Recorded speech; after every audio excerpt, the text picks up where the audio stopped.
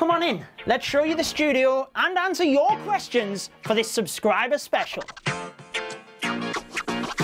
Welcome back to the channel then, guys. I'm your host, Judo Sloth. Thank you so much for 700,000 subscribers. 700,000! That is a crazy amount of people, and it really is because of you that I can continue doing this day in, day out, bringing you educational but entertaining Clash of Clans videos. We're going to celebrate with a Q&A. There were over 1,000 questions submitted, many of them overlapping. I have selected the most popular, whilst giving a bit of a variety. Questions about me, my YouTube intro, if I've ever thought about quitting Clash of Clans, general advice for other YouTubers, with some Clash of Clans tips thrown in there as well. And I'll even reveal a bit of a studio tour at the end of the video. So let's get into it. A nice one to start us off. AA Gaming asks, what is the story behind the name Judo Sloth?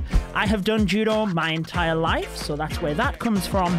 In terms of the sloth, I lived in America for over a year where I competed in judo. And I was at an event where my coach asked me to run to the car, pick something up, two minute job. I got sidetracked. Let's just say I had to de escalate a situation, and I returned two hours later.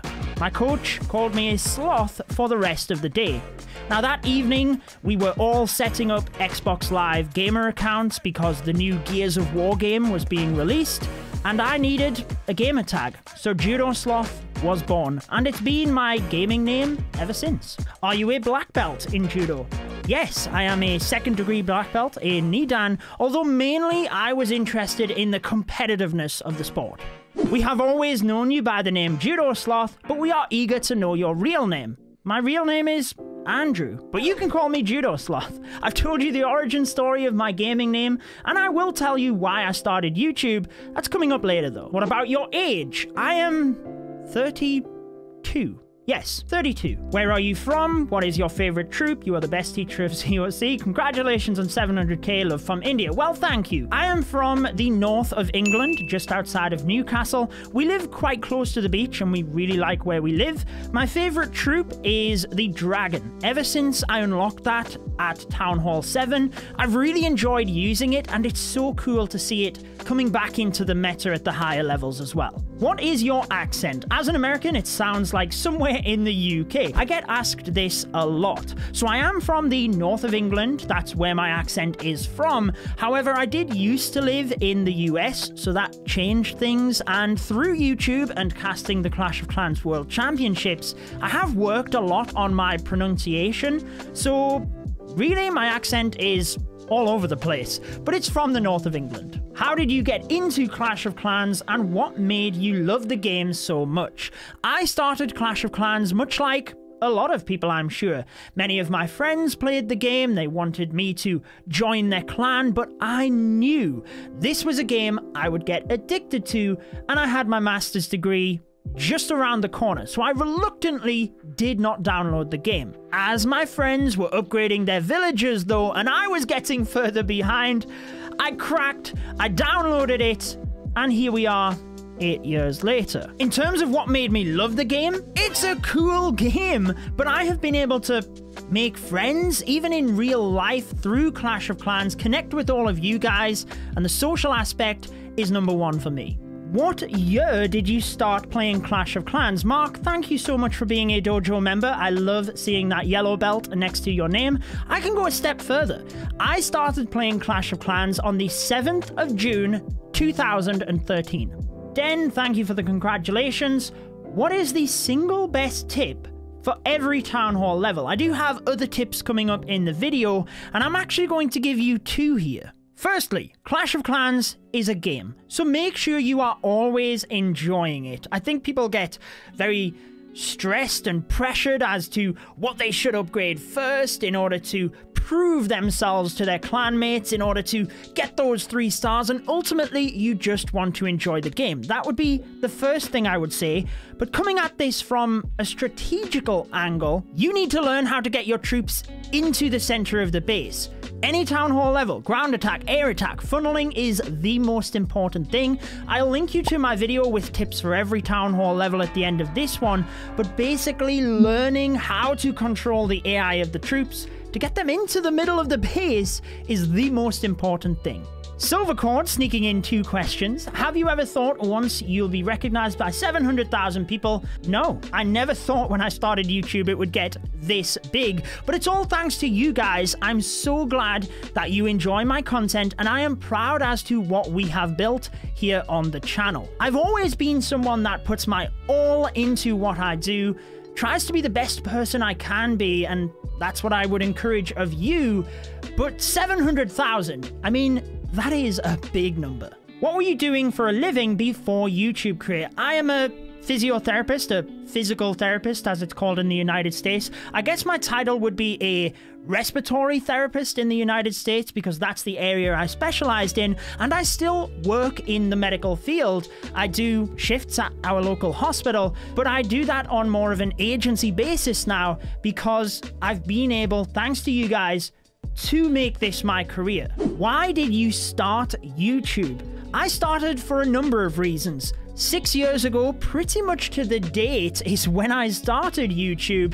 I had already made a couple of little tutorial videos that I'd shared with my clanmates personally, and I really enjoyed making them. They found them helpful, so it's something I already had a little bit of a passion for, and I enjoyed watching a lot of the Clash of Clans YouTubers. When I finished my master's degree, the Titan League and Legend League were first being introduced to the game, so I thought what better time to start, document my trophy pushing series, and help some people along the way. And that is where my YouTube journey began. Give us a little insight on you and your family, wife, kids, etc. My wife was actually featured in the Clash of Clans World Championship documentary by Amazon, but I called her after the show. It was my first year casting. I wanted to update her on how it went, and they put it in the documentary. It was really cool. We also have a little boy, he's nearly one year old, and this is where I can't thank you enough. It was around the time he was born I made the leap into pretty much full time content creation. I've been able to support my wife through that and also spend more quality time with him since I'm working from home. So I really cannot thank you guys enough. You've changed my life. How does your wife and rest of the family cope with your gaming passion? That's a tough one. I think all content creators struggle with this to a degree because when you're so passionate about bringing the best possible content, I work a lot of hours. I've tried to structure my day and week on when I record, when I edit, when I respond to you in the comments and social media to try and get a balance, but ultimately balancing content, family life, social life, getting all of that structured is very difficult. So it's tough. It's something I am also actively working on because having a healthy work life balance is very important for your mental health, but it's difficult. But have you ever heard the saying, find a job you love and you will never work a day in your life? It is so true.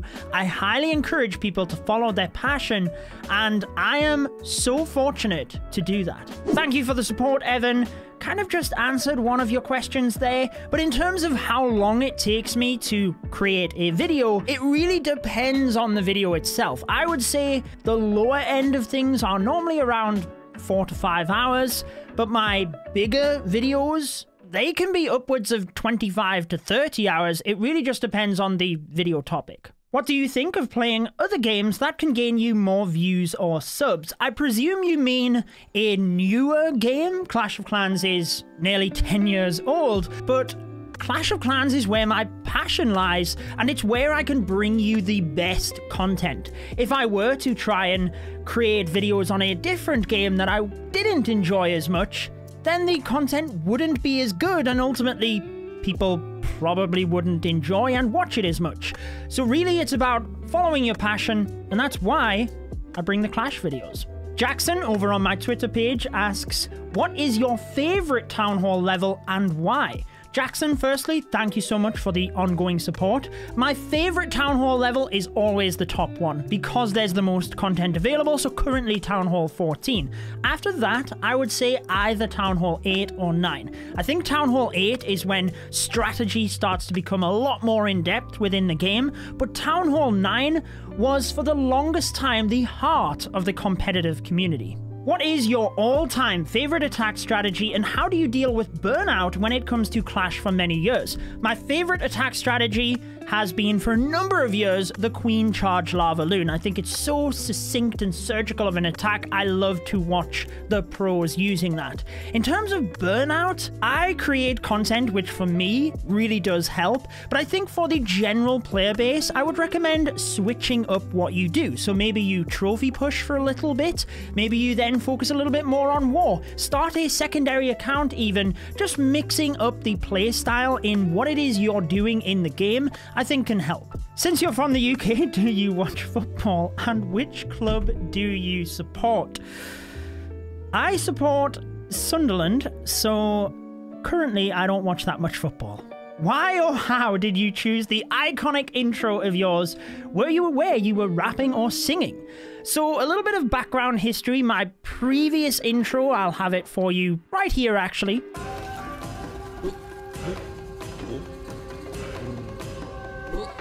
Let me know if any of you remember that intro, but I felt it was a little bit too long and it wasn't as upbeat as I wanted. So I had the same animator create the new intro, which was very quick, snappy, to the point, had that upbeat feeling and positivity I try and bring in the videos. In terms of the singing with my intro, as you go back through the videos, I never used to do that. It's something that kind of just fell into place and felt right as we did it, and everyone enjoys it. I think it works great. So that's about it. Did you ever feel like quitting YouTube or Clash? I've never felt like quitting YouTube. I love making content, connecting with all of you. In terms of Clash, I've never felt like quitting, but there was a stage where I wasn't as connected with the game. I was a maxed Town Hall 10. Town Hall 11 had been out around about six or seven months, and I stayed Town Hall 10 due to the competitiveness of our clan. So I had nothing to upgrade. I was literally just doing my war attacks, and it got to the stage where I said to my clan mates, I am going to have to upgrade my Town Hall. If it means I need to leave the clan, so be it, but I had to get more content in order to keep enjoying the game. What inspired you to do content with high quality, and do you ever get tired of making these? I'm someone that always puts everything into what I do, so I've always tried to bring videos with the best quality. When I was working full time, and creating videos, there's only so many hours in the day. So ultimately, the videos in my opinion, were not as good as they are now because I can put more time into the videos. Generally speaking, the more time and effort you put into something, the better results you're going to get out of it. So that's kind of where I've always been in terms of quality, and I always try and up the bar in order to improve myself. It can be hard, it can be a grind, particularly when you've put so many hours into a video and it doesn't quite resonate with you guys in how I thought it might have. But it, if anything, just makes me reevaluate what I did in that video and the content that I brought and how I can make it even better so that you guys will enjoy it. Another Clash tip question. I like this one. In a video, about the Electro Dragons, you mentioned you want the buildings one tile apart rather than compact. Why exactly is this? The Electro Dragons chain through the same amount of buildings if they are clumped together or one tile apart. So when they are a tile apart, you can actually outrange defenses, in some cases even an air defense. So there's less defensive DPS in that area. Whilst the dragons still work with buildings that are clumped together, it's better when they are slightly apart because you're reducing the DPS. Did you ever lose a battle after the release of Town Hall 14? I guess it depends on what you mean by lose. I certainly have not 3-starred every attack. In fact, the last video on my channel was not a three star, spoiler alert. But if you mean zero star, I don't think I've ever zero starred at Town Hall 14. I certainly have in my Clash journey. Look, everybody fails attacks from time to time. It happens. It's how you learn from those that are going to make you a better player. How did you convince your parents for a gaming career and your best COC funny moment? In terms of when I started YouTube, I wasn't living with my parents. I had gained my degrees, I was working full time. YouTube was a hobby. Whilst it can be a career, and I'm not saying don't treat it like a business, I think you should have an education because it gives you core skills, skills that I have used to build my channel and my business, but also you've got something to fall back on. YouTube is tough. A little bit of history here for you. I started my channel in July of 2015, and it took me two months to gain 100 subscribers and almost a year to gain 1,000 subscribers. This is typical of YouTube though, because as you are building your skill set, you are improving in your camera presence, your video editing, your storytelling, whatever it might be, you can then start to see the trajectory going up over. Kind of took another year for me to get to 10,000 subscribers. So basically what I'm saying here is everybody starts at zero and just getting started and taking action is how you can set out on this journey if you really want to. Funniest Clash of Clans moment. I was asked by Darian, the community manager, to take part in a Clash of Clans developer video, to which I said, Yes, I'm game, do what you want. Once I arrived on set, he gave me this to wear, the Party Warden outfit, and also this. How do I look? Mr. 008 Gaming asks, What is your favorite moment in your YouTube career?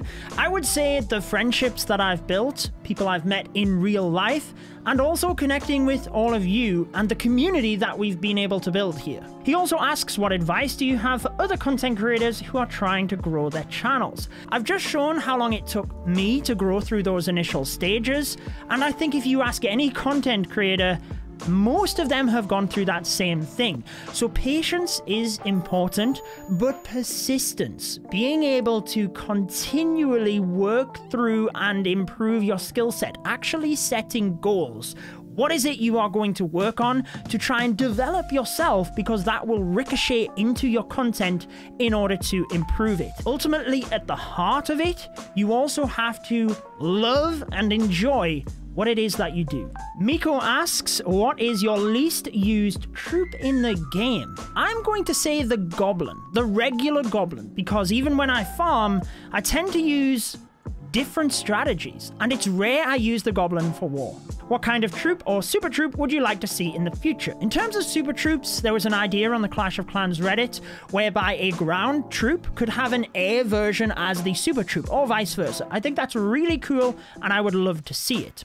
In terms of regular troops, I like when they have unique mechanics, such as when we had the Headhunter released to target heroes. And I like that idea of having a troop that is specific to a building. I would actually like to see something like the Bandit, where I could toggle which building it actually attacked. But I appreciate that's probably too complex, so maybe a troop that would target a specific building because I feel it gives you more options. On average, how much do you spend on Clash in a month? I'm not sure if this means time or money, so I will answer both. In terms of time, I don't actually play Clash too much because I'm creating specific content for it in terms of freely playing the game, maybe one hour per day. In terms of money, it's only if there's any good value special offers and the gold pass. On average across the year, maybe $100 a month? With code JUDO.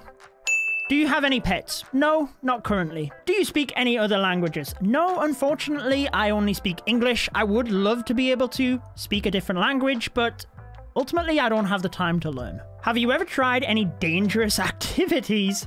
Uh, paragliding, bungee jumping. I wouldn't necessarily clash them, class them as dangerous, but I have bungee jumped before. I used to do a lot of adrenaline style activities actually. Me and my friend, we had motorbikes. We would choose whatever we wanted to do, ride to the activity, and then go for it. My favorite though was what's known as flyboarding. It is a water fueled jetpack powered by a jet ski anybody has the opportunity, I would highly recommend it. Do you play any other Supercell games and will you reveal them? I play Clash Royale, Brawl Stars, and now Clash Quest, although a lot more casually than Clash of Clans. I don't have any specific plans to bring them to the channel. I did bring a Clash Quest video not that long ago, and I've got my eyes on the new Clash games in development, but right now, my main focus is Clash of Clans. What benefits did you get from Supercell Creator? As part of the Supercell Creator program, you have my code, code Judo. It works not just in Clash of Clans,